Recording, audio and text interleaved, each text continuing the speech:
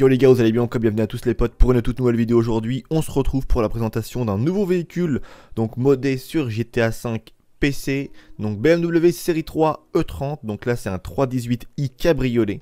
Donc elle est magnifique, toute d'origine. Regardez-moi cette belle voiture. Donc pourquoi j'ai choisi de vous présenter cette BMW là? Parce que tout simplement, j'aime beaucoup les séries 3 E30. Je les trouve vraiment euh, super stylées. J'aime beaucoup cette caisse. J'ai eu l'occasion de monter dedans euh, très souvent et d'en conduire aussi.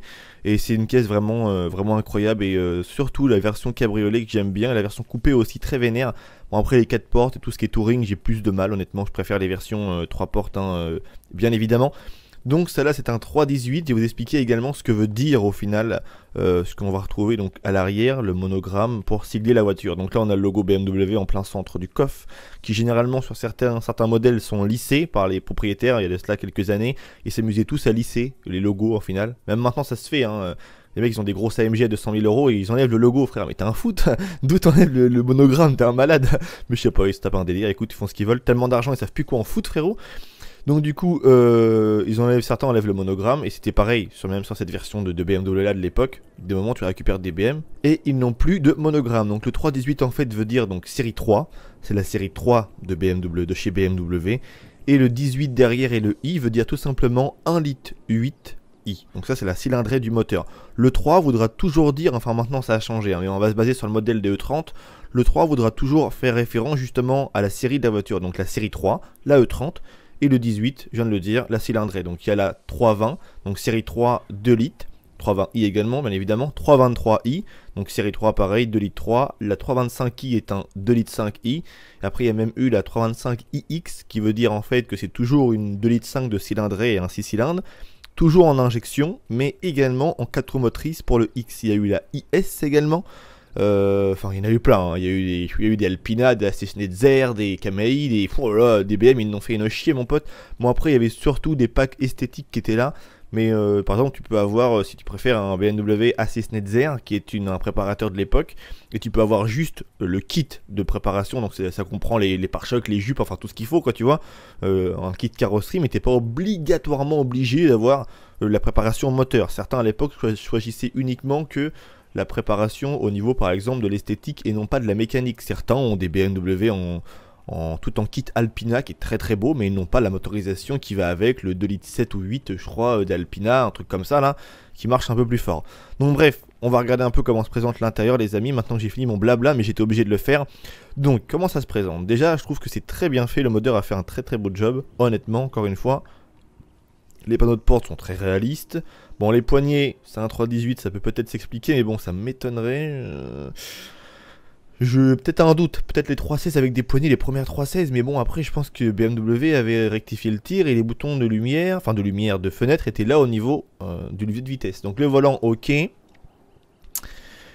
Euh, ok, le tableau de bord, tout ça, ouais, tout ça est très très très bien fait. Les boutons pour les lumières juste là, ok. Le compteur, il n'y a juste pas les aigus au final qui marchent, c'est un peu dommage. Les sièges, pas mal. Intérieur un peu beige, blanc comme ça. Derrière, il n'a pas fait les petites finitions là au niveau euh, des petits plastiques arrière, on va dire, entre guillemets, des panneaux de porte arrière, même s'il n'y en a pas, vous m'avez compris.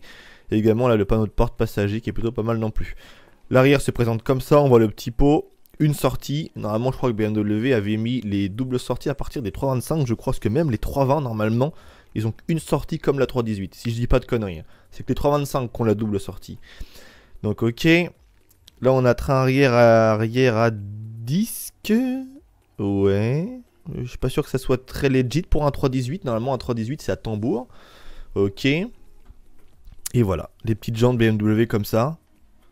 Qui sont. J'ai toujours eu un peu de mal avec ces jantes là. Mais bon, pourquoi pas. À pas Ouais, elle passe bien, on va dire, c'est harmonieux avec tout le reste de la voiture.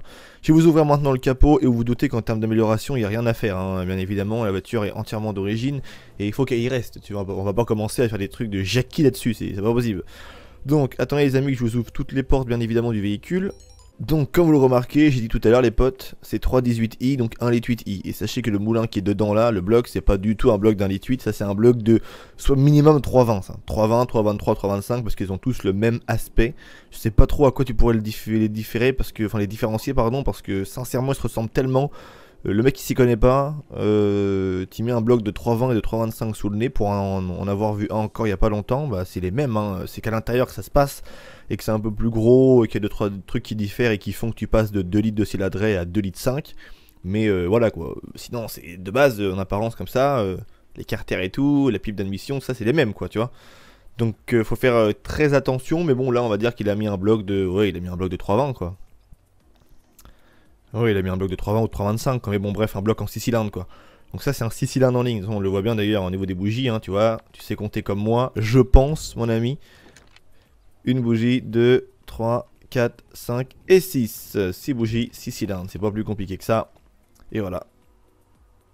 Mais bon, c'est très bien fait quand même. C'est très très bien fait. Il manque quelques petits éléments, mais sincèrement, on va pas euh, faire des mecs relous et vraiment casse-couilles, tu vois. La voiture est très bien faite, elle est très belle. Les jantes sont bien finies, les baguettes de porte et tout, c'est bien fait. Même les bas de porte, c'est pas trop vilain, honnêtement. Les jantes, j'aime bien, elles sont vraiment bien faites, les jantes. Il a mis du temps, je pense, pour les faire avec le petit logo BMW en milieu. Il a les pare-chocs chromés qui sont plus beaux que les autres, que je préfère ceux-là, moi. On avait les pare-chocs phase 2 qui étaient plus en plastique, qui étaient pas aussi beaux pour moi. Et honnêtement, ouais, elle est très très belle. Cette BMW est vraiment très très belle. On va essayer de l'améliorer vite fait, pourquoi pas, et regarder donc alors, véhicule d'option, menu custom, on peut modifier les roues après, ça, c'est, ça reste un choix, donc regardez un petit peu ce que ça donne avec des roues différentes. Bon, faut vraiment trouver des roues qui pourraient se rapprocher des roues que beaucoup de propriétaires de BM mettent, hein, genre des barbettes, euh, des barbets ou des barbettes, je sais plus comment on dit frère, des BBS, tout ça, mais bon, je trouve que dans GTA 5, il n'y a pas la gamme de jantes qu'il faut pour une 30. C'est bien précis au final, hein. les jantes sur une 30, si tu te goures sur les jantes, euh, attaquer euh, c'est, plus une 30. les mecs sont intransigeants, hein. c'est, les jantes on rigole pas sur les BM. Après, faut vraiment avoir un style de jante bien particulier, tu vois. Et moi, je trouve que dans la catégorie sport, ils n'y vont pas du tout. Peut-être dans la catégorie muscle car, il y a peut-être des jantes qui iraient un peu mieux. Déjà, les jantes sont un peu plus petites, donc ça fait un peu plus beau. Parce que tu peux pas mettre du gros 18 sur une BM comme ça, ça fait moche. Là, c'était limite des jantes en 20. C'est pas possible, ça fait pas beau. Faut vraiment rester en, on va dire, en 16 maxi, quoi. 16-17. Allez, au pire. Euh, Low Rider en fait, il faudrait mettre limite, ces jantes-là, en fait, tu vois. Même sinon, ça fait trop euh, bagnole américaine, là. En fait, faudra laisser les jantes d'origine, frère. Et c'est ce qu'on va faire, tu vois. Après, il y a plein de modèles, hein. Euh, bien évidemment qu'il y en a 36 sortes sur GTA 5, il y en a beaucoup de jantes. Mais bon, moi, j'ai regardé franchement tout à l'heure, et avant de faire la vidéo, pour voir un petit peu, pour découvrir un petit peu avant vous le véhicule, afin de, de, dire des, quand même, ne pas dire des conneries. Et bah j'ai pas trouvé les jantes qui me plaisaient. Donc euh, honnêtement, bah moi je vais la laisser avec ces pneus d'origine et c'est très bien comme ça. Ensuite on a euh, justement bah, tout ce qui est euh, le moteur qui peut être upgrade, les freins, la transmission, la suspension, on peut la rabaisser un petit peu, même encore un peu et même encore un peu. Je crois qu'il faut pas aller au-delà de là parce que sinon quand on tourne après on voit les roues qui passent dans les ailes et ça fait pas beau. Donc moi je vais la remonter comme ça, je trouve que comme ça elle est pas mal. En street euh, suspension c'est pas mal. Blindage on peut mettre à fond, la peinture. Bon ça après je pense qu'on va les s'orienter directement vers un petit rouge. Hein. sont belles 30 en rouge, j'aime bien. Après, il y a d'autres couleurs qui vont super bien, genre le, gris un peu. Euh, je sais plus c'est quoi la référence, mais moi c'est euh, ma teinte favorite, avec le, Royal Blue aussi qui était vachement belle. Et le noir, enfin bref, plusieurs teintes comme ça de BMW qui passaient bien. Euh, blindage, tout ça on a fait, la peinture on a fait, les néons frérot, on va pas y mettre de néons, les fenêtres on les teinte pas. Et là en supplément, on a simplement la petite antenne qui est là, que je vais venir enlever. En fait quand tu la laisses ça rajoute un plus, mais quand tu l'enlèves t'as l'impression qu'il manque quelque chose, tu vois. Donc Ouais, je vais l'enlever, j'ai jamais été trop fan des antennes là. Turbo, on va y mettre. Et après, voilà, les phares xénon, l'intensité, l'audio du moteur, tout ça, on va laisser. Et l'immatriculation, pourquoi pas. Nous, on va s'enlever ça et on va se mettre un petit E30. Normalement, là, nos plaques sont renommées en E30. Et voilà. On est pas mal, on est pas mal, les potes. On va aller faire un petit tour avec. Je vais peut-être vous en faire un petit tour vite fait pour que vous voyez maintenant la tête qu'elle a une fois qu'elle est rabaissée et tout. Par contre, on peut pas remonter la capote. Hein. C'est dommage, mais bon. On peut pas non plus tout avoir. Faut pas être exigeant, frérot. Mais elle est belle, elle est belle. Le seul petit bémol, c'est qu'on ne peut pas modifier la couleur des jantes et je trouve qu'elles font vachement blanches, tu vois. Et je suis pas fan. On a l'impression qu'ils ont qu'il a pris la même teinte pour les jantes que pour euh, ses sièges. Regardez comme c'est très similaire. Oh non, quoique c'est un gris pour les jantes. Mais bon, au soleil, on a vraiment l'impression, regardez là, que les jantes sont gris à lui, ok. Et quand t'arrives là, t'as vraiment l'impression que les jantes sont blanches. Tu vois Tellement il est, violent, le, l'alu, ou je sais pas, la couleur est, flash, quoi, et, pétante. T'as vraiment l'impression que les jantes sont blanches. Bon, ok les potes, on va aller faire un petit tour avec petit BM 318, enfin c'est le monogramme qui est 318 parce que nous frérot on est monté en 6 cylindres. Elle est pas mal, honnêtement, c'est une belle petite voiture. J'ai peut-être faire un truc que... Voilà, je vais faire ça. Je vais mettre mon, joueur invisible. Invisibility, voilà. Donc là, regardez, il n'y a que la, voiture qui se... Je suis plus dedans, en fait. Je préfère comme ça, je trouve que c'est plus stylé. Tu vois vraiment la voiture dans sa globalité. Il n'y a plus mon personnage qui va nous faire chier en plein milieu de l'écran, mon gars. Et je trouve que là, tu admires vraiment la caisse. Et je la trouve très stylée, cette E30. Elle est vraiment très très belle. Moi, la barrière, frère. Oh on se dirait dans un autre jeu que j'étais à 5 quand je conduis comme ça, c'est hyper chelou. Et regardez, quand je passe la vue en FPS, mon pote, t'as vraiment l'impression que c'est toi qui conduis la caisse. Hein. Là pour le coup, c'est vraiment. Euh, c'est vraiment immersif de dingue. Et le pire, c'est si je fais ça encore en plus, là t'as vraiment l'impression d'y être quoi. C'est dans un jeu de simulation là.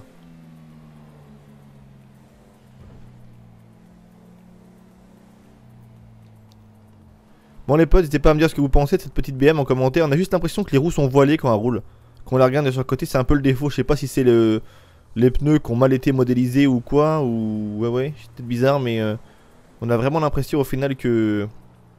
Bah, comme si que les roues soient voilées au final frérot, ça fait un peu bizarre mais bon, honnêtement c'est une très belle voiture, on va pas cracher sur le mode, le modeur a fait un taf exceptionnel, elle est très très belle. Et ça fait plaisir de voir une caisse comme ça modélisée euh, dans GTA 5. Si vous avez des modèles que vous aimeriez que je présente les amis en vidéo, n'hésitez pas à bah, m'en faire part dans l'espace commentaire. Et évitez, les potes, sincèrement, de me mettre des Ferrari, des Lambeaux. J'en ai fait 300 en vidéo. J'en ai présenté énormément. C'est pas forcément ce qui plaît le plus, étonnamment, parce que les gens, au bout d'un moment, ils savent ce que c'est. Tu vois, une Lambo, une Ferrari, bon. Et à la fin, ça fait même plus rêver à force d'en voir euh, en vidéo et tout. Ouais, c'est cool comme caisse, c'est impressionnant.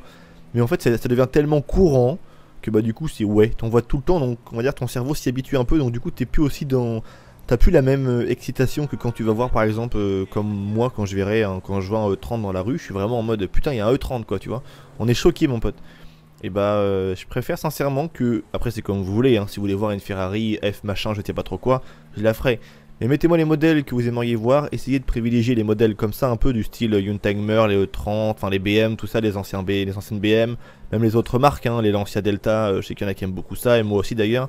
Enfin bref, plein de caisses comme ça qui sont euh, vraiment mythiques, françaises ou étrangères, hein, qu'importe. Et euh, voilà, on, essaiera de voir s'il y a moyen euh, de les trouver pour vous les présenter en vidéo, les amis. Donc n'hésitez pas à mettre pourquoi pas une petite note à cette BM. Moi honnêtement, j'y mettrais un bon 8,5 parce qu'elle vaut largement, elle est très belle. A quelques petits défauts majeurs, mais sinon, regardez-moi ça comme elle est propre, quoi. C'est incroyable. Elle est vraiment très stylée, elle est très plaisante à conduire en plus. En plus, avec le quand tu retires le, bonhomme dans, la voiture, t'as vraiment l'impression que c'est encore plus immersif qu'avant, quoi. De voir le volant bouger, c'est captivant, mon pote. Donc, vos avis, les potes, en commentaire. N'hésitez pas à dire ce que vous en pensez. Après, j'ai envie de faire un peu comme la boiserie, tu vois, de la faire brûler, la BM, tu vois. j'ai envie de la faire brûler d'y mettre une cheminée sur le, sur le capot. Non, non, pas sur un E30. Faut jamais faire ça sur un E30, jamais. Même un, même un diesel, faut jamais faire ça. Hop.